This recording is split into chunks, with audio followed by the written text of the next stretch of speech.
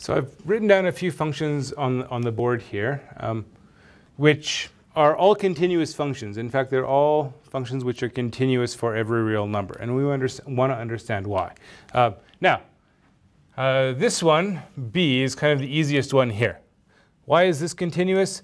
It's continuous because x squared is a polynomial, and polynomials are continuous everywhere.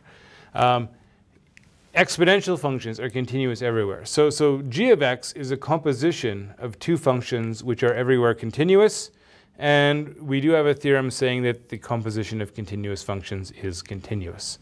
Okay? So, we know that this one is continuous everywhere. Um, what about the absolute value function? So remember that the absolute value function is given by x if x is bigger than or equal to 0, and minus x if x is less than 0. Okay?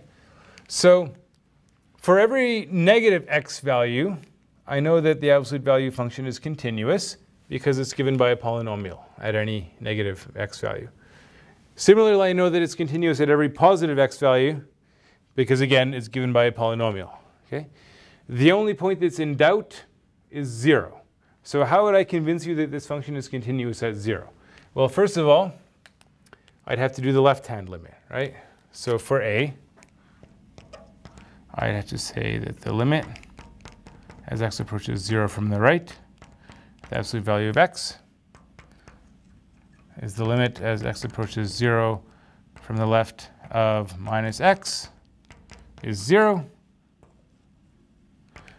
Limit as x approaches 0 from the right the limit x approaches 0 from the right of x is also 0. And I also know that the absolute value of 0 right? When x is equal to 0, we put 0 in for x, we get 0, right? So I check all of these, and, and all of this together tells me that the limit as x approaches 0 of the absolute value of x is equal to the absolute value of 0. So now I know it's continuous at 0. I know it's continuous at negative numbers. I know it's continuous at positive numbers. So I know it's continuous everywhere. Okay? Um, C, the last one. Now this one, there's a right way and a wrong way to handle something like this, right? Or, or at least let's say an easy way and a hard way.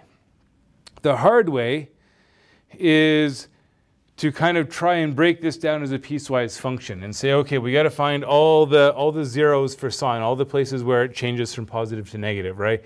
And and we're gonna it's gonna be positive sine x at these at these values, negative sine x at these other values, right? But there's infinitely many points where this function changes sign. And, and you don't want to have to try and, and look at left hand, right hand limit at every single one of them or try to sort of do them all in one go, right? What we want to do is we want to approach it the same way we approach part B because we just showed that the absolute value function is continuous everywhere, okay? Back when we looked at analytic limits, when we looked at the squeeze theorem, we showed that sine is continuous everywhere, okay? And, and so what you have to realize is that what we're doing here is we're plugging the sine function into the absolute value function, right?